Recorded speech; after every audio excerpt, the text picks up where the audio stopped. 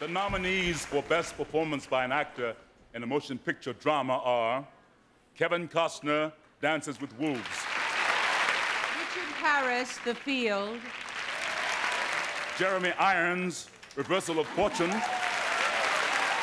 Al Pacino, The Godfather Part 3. Robin Williams, Awakeness, Awakening. And the winner is Jeremy Irons, Reversal of Fortune.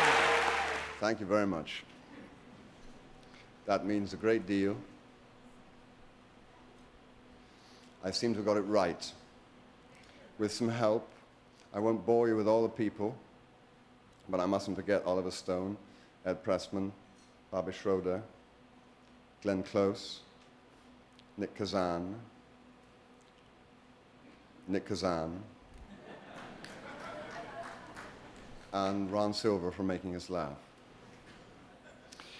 What I'd like to do also is to, by way of apology, to, to say that I am aware, we are aware, that the success of our picture rides on the back of a great invasion of privacy for two families, the von Bülows and the von Auerspergs.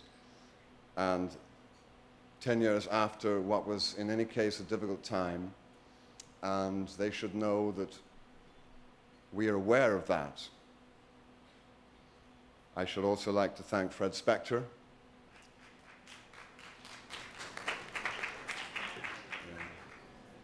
And I can't forget my wife, who knows all about me and still stays.